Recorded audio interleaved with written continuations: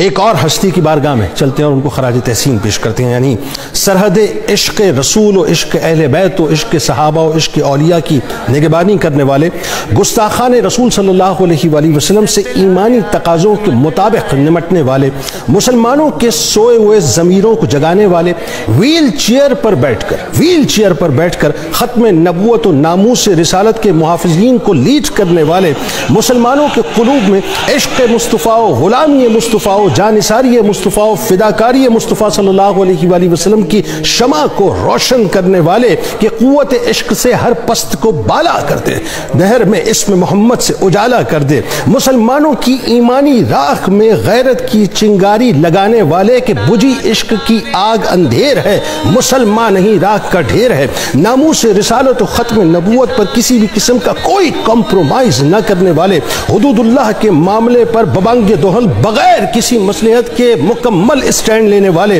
हदूदुल्लाह को मुसलमानों की रेड लाइन बतलाने वाले, नौजवानों को लब्बैक या रसूलुल्लाह का अजीम तरीन नारा देने वाले पै करे अजीमत इस्तकामत मुहाफ़ ख़त्म नबूत नामूस रिसालत, एक सच्चे और इंतहाई सच्चे आशिक रसूल अमीरमुजाहिदीन हाफिज कुरान, हज़रत अल्लामा खादिम हुसैन रिजवी रहमान नाजरीन, एक शख्सियत नहीं बल्कि एक फ़िक्र का नाम है, एक नज़रिए का नाम है, एक तहरीक का नाम है एक अज़म का नाम है, एक जबल इस्तकामत का नाम है, बल्कि यूँ कहिए कि इश्क रसूल का दूसरा नाम अल्लामा खादिम हुसैन रिजवी रहमा है, जो व्हील चेयर पर बैठ, व्हील चेयर पर बैठ कर एक तरफ़ तो मगरब की ताकतवर तरीन ताकतों को जिनके बड़े सामने बड़े बड़े मुस्लिम लीडर्स की जुबानें बंद हो जाती हैं, जिनके घुटने ढीले हो जाते हैं, कदम ढीले हो जाते हैं, उनको ललकारते हुए भी नज़र आते हैं और दूसरी तरफ़ हुक्मरानों की गैरत ईमानी को जगाते हुए भी नज़र आते हैं और अपने नबी की नामूस की मुआफिजत में ये बतलाते हुए भी नज़र आते हैं कि मुझे देखो मुझे देखो।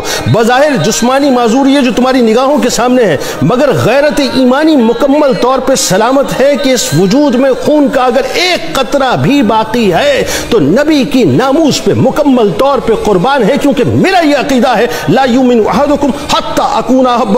मैं वालिद ही, व वलद ही वन्ना से अजमईन। अल्लामा खादिम हुसैन रिजवी रहमा, वो हस्ती हैं जो रजवी अलम को उठाकर, रजवी अलम को उठाकर खादिम हुसैन बनकर खुद भी इश्क रसूल के रंग में रंगे हुए थे और एक नस्ल को इस तरह से रंग कर चले गए कि जो आशिक इकबाल भी थे ना, आशिक इकबाल भी थे तो इकबाल ही की ज़ुबान में ये बतला कर चले गए कि की मोहम्मद से वफा तूने तो हम तेरे हैं। शर्त लगा गए वो कि की मोहम्मद से वफा तूने तो हम तेरे हैं। ये जहाँ चीज़ है क्या? लोहो कलम तेरे हैं। अल्लाह तबारक ताला